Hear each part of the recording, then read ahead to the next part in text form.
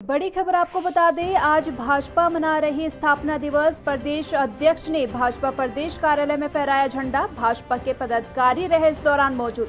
अजय कुमार ने सबको मिष्ठान खिलाकर किया मुँह मीठा। सीएम धामी ने किया संबोधित। वहीं बीजेपी निकाल रही है शोभा यात्रा। स्थापना दिवस देश भर में भारतीय जनता पार्टी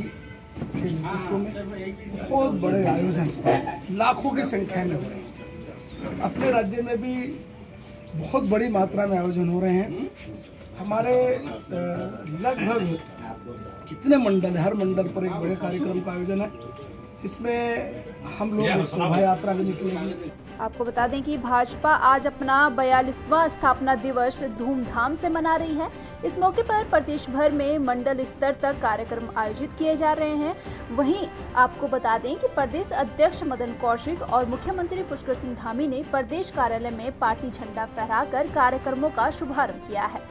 और इस दौरान आपको बता दें कि शोभा यात्रा भी निकाली जा रही है। सीएम धामी ने संबोधित भी किया है।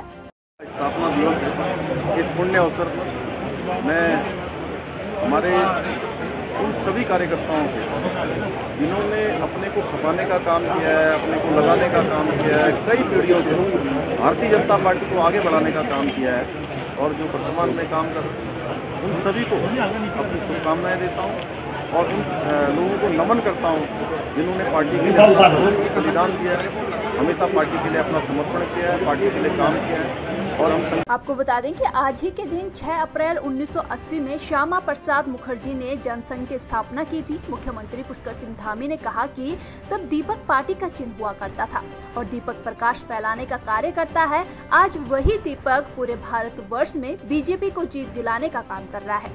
इसी कड़ी में आज राजधानी देहरादून के जीएमएस रोड रोड स्थित फार्म हाउस में स्थापना दिवस का आयोजन किया गया। इस दौरान सीएम धामी ने अपने संबोधन में कहा कि आज श्यामा प्रसाद मुखर्जी की मेहनत और कार्यकर्ताओं का जोश रंग ला रहा है। आज पार्टी उनके बताए गए मार्ग पर आगे बढ़ रही है। बयालीसवां स्थापना दिवस के मौके पर सीएम पुष्कर सिंह धामी ने झंडा फहराया और सभी को इस मौके पर शुभकामनाएँ दी है। स्वयंसेवक संघ का स्वयंसेवक बना था और 80 से मेरे भाजपा का दायित्व रहा। मुझे प्रथम अधिवेशन में बम्बई जाने का अवसर मिला। माननीय अटल जी ने उसकी अध्यक्षता की थी। और आज जो भी सम्मान मिला है ये सब मुझे कार्यकर्ताओं के देवतुल्य कार्यकर्ताओं के सहयोग से मिला है। मैं संगठन को इसके लिए बहुत धन्यवाद देता हूँ। आपको बता दें कि अपने संबोधन के दौरान सीएम धामी ने कहा कि 2025 का स्थापना दिवस बहुत ही खास होगा। उत्तराखंड की 25वीं वर्षगांठ पर विकास से जुड़ी सभी कार्यों को पूरा कर लिया जाएगा। उन्होंने कहा कि प्रदेश सरकार विकास के लिए ठोस रणनीति बनाकर कार्य कर रही है। साथ ही विकास कार्यो को पूरा करने के लिए डेडलाइन भी तैयार की गई है। आपको बता दें कि आज बीजेपी अपना स्थापना दिवस मना रही है और इस दौरान कार्यकर्ताओं में काफ़ी उत्साह जो है नज़र आ रहा है और इस दौरान शोभा यात्रा भी निकाली जा रही है।